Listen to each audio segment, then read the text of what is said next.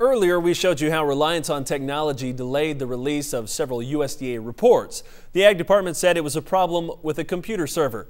That said, there's no denying how technology is changing agriculture on the farm and in the pit. Farm Director Al Pell has more in analysis. Here at the Agribusiness Desk this morning, we're talking with Tommy Grisafi, Indiana Grain Company. Tommy, you're a speculator on the markets, and uh, so that means you use your own money and use your own information in order to make a decision. You have to depend on technology. And you got a technology story I'd like for you to tell me.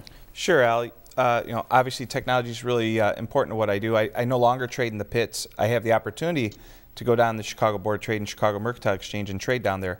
Uh, and the Minneapolis Grain Exchange doesn't even have a pit, but I have a membership there. But uh, you'd be hard pressed to find a floor to go trade there.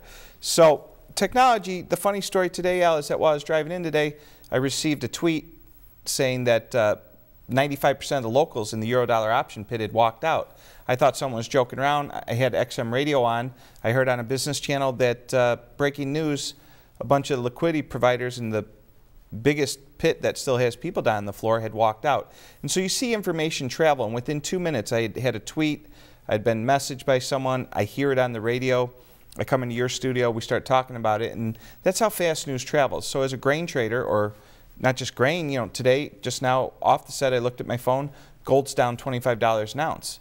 Uh, you, trading's changed. It's not the, uh, you know, sometimes farmers like to tell you how they don't need technology, but then they'll show you this new planter, oh, this yeah. new, they know more about technology and, you know, with the GPS on the new tractors and combines, if they want to get rid of you, if you're paying salesmen, they'll tell you they don't deal with technology, but the American farmer is really starting to use technology to uh, his or her uh, advantage. So what you're saying is anybody that's a farm producer knows how technology is moving and changing their industry, your industry is changing maybe even faster. And while that's happening, we're talking to each other.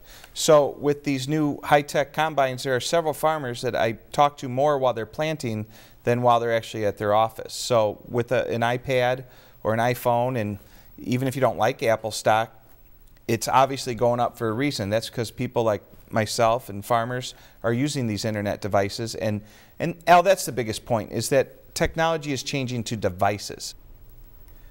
Tom Grisafi here on Ag Day. We'll be back with more in just a moment.